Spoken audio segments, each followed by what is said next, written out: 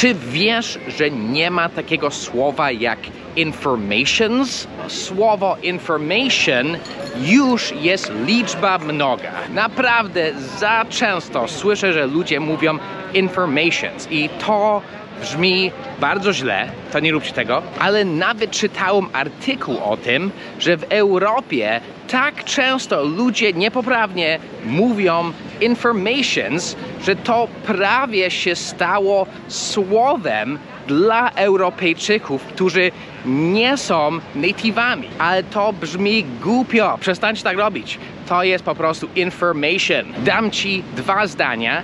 Pierwszy będzie niepoprawny i drugi będzie poprawny. He gave us many informations. Eee, niepoprawne. He gave us a lot of information. Bing! Poprawne. To pamiętaj, się mówi a lot of information. He gave us information. We received the information. Please read all of the information provided in the email. To mam nadzieję, że już nigdy nie powiesz informations, bo to jest głupie. To jest tak samo, jakby ktoś powiedział piesy zamiast psy. A, ale fajne piesy. Ugh.